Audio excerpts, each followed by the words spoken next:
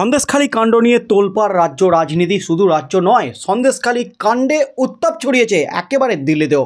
নড়ে চড়ে বসেছে কেন্দ্রীয় সরকার, কেন্দ্রীয় স্বরাষ্ট্র মন্ত্রক। তার মধ্যে রাজ্যে বাংলায় রাষ্ট্রপতি শাসন থেকে শুরু করে তিনশো পঞ্চান্ন ধারা জারি কেন্দ্রীয় শাসন জারির দাবি উঠেছে বিচারপতি অভিজিৎ গঙ্গোপাধ্যায়। মুখ খুলেছেন। রাজ্যে আইন শৃঙ্খলা ভেঙে পড়েছে। ঘোষণা করুক রাজ্যপাল, এমনই কিন্তু দাবি করেছেন বিচারপতি গঙ্গোপাধ্যায়। তার মধ্যেই রাজ্যপাল কড়া অ্যাকশন নিয়েছেন এবং তার মধ্যেই কিন্তু হুলস্থুল রাজ্য রাজনীতি, শাহজাহান, শেখ শাহজাহান তৃণমূলের বেতাজ বাদশাহ সন্দেশকালীর বেতাজ বাদশাহ এখনও গায়েব। শাহজাহান কোথায়? এই প্রশ্নটা যখন উঠে গেছে রাজ্য রাজনীতিতে, ঠিক তখনই এবার সন্দেশখালী কাণ্ড নিয়ে হাইকোর্টে বড় ধাক্কা রাজ্যের। এই মুহূর্তের সবচেয়ে বড় খবর ইডিকে করা নির্দেশ দিল কলকাতা হাইকোর্ট। সন্দেশখালী কাণ্ডে আপাতত স্বস্তিতে ইডি। সোমবার পর্যন্ত কেন্দ্রীয় তদন্তকারী সংস্থার বিরুদ্ধে নেওয়া যাবে না কড়া পুলিশি পদক্ষেপ। বৃহস্পতিবার এমনই নির্দেশ দেন বিচারপতি জয় সেনগুপ্ত। ইডি বৃহস্পতিবার আদালতে জানায়, সন্দেশখালীর ঘটনায় মোট চারটি এফআইআর দায়ের হয়েছে। তার মধ্যে একটি মামলায় আমাদের বিরুদ্ধে অভিযোগ দায়ের হয়েছে। সংবাদ মাধ্যমের সামনে আমাদের অফিসারদের মারধর করা হয়। এসব শোনার পর বিচারপতি জয় সেনগুপ্তের মৌখিক নির্দেশ, সোমবার পর্যন্ত ইডি আধিকারিকদের বিরুদ্ধে কোনো কড়া পদক্ষেপ পুলিশ করতে পারবে না। সোমবারই মামলার পরবর্তী শুনানি। এদিকে এফআইআর খারিজের দাবিতে পাল্টা মামলা দায়েরের আবেদন করে ইডি।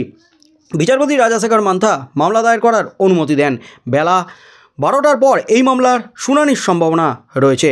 উল্লেখ্য, গত পাঁচই জানুয়ারি সন্দেশখালীর তৃণমূল নেতা শেখ শাহজাহানের বাড়িতে যান ইডি আধিকারিকরা। সেখানে তার অনুগামীদের হাতে আক্রান্ত হন তিন আধিকারিক। তার মধ্যে রামকুমার রাম নামে এক আধিকারিকের মাথা ফেটে যায়। আরও দুই আধিকারিকও গুরুতর চোট পান। তাদের প্রত্যেককে সেই সময় হাসপাতালেও ভর্তি করা হয়। এরপর ওই দিন রাতে বনগায় শঙ্কর আড্ডর বাড়িতে গিয়ে প্রতিরোধের মুখে পড়েন ইডি আধিকারিকরা। তা সত্ত্বেও ইডির বিরুদ্ধে এফআইআর দায়ের হয়। এই ঘটনায় তীব্র প্রতিবাদ জানিয়ে জনস্বার্থ মামলা দায়ের করে বিজেপি, ইডিও হাইকোর্টের দ্বারস্থ হয়। তার মধ্যেই কিন্তু বড় ধাক্কা এবার রাজ্যের। ইডির বিরুদ্ধে কোনো কড়া পদক্ষেপ নিতে পারবে না পুলিশ। সোমবার পর্যন্ত আপাতত স্বস্তি পেল ইডি আধিকারিকরা। আপাতত ইডির উপর রক্ষা কবচ দিল বিচারপতি জয় সেনগুপ্ত। সংবাদ মাধ্যমের সামনে হামলার অভিযোগ উঠেছে ইডির অফিসারদের মারধর করার অভিযোগ উঠেছে। আর ইডির আধিকারিকদের কাছ থেকে এই কথা শোনার পরে কিন্তু চক্ষু চড়কগা চমকে উঠলেন বিচারপতি জয় সেনগুপ্ত।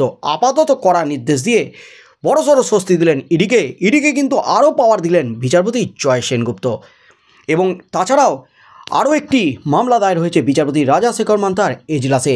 সেই মামলায় কী নির্দেশ দেন বিচারপতি রাজা শেখর মান্তা? আজই কিন্তু এই মামলাটি উঠতে চলেছে বিচারপতি রাজা শেখর মান্তার এজলাসে। এই মামলায় কী নির্দেশ দেন? ইডির বিরুদ্ধে যে এফআইআর দায়ের হয়েছে, সেই এফআইআর কি খারিজ হবে? কী নির্দেশ দেন বিচারপতি? সেদিকেই চোখ থাকবে কোটার রাজ্যের।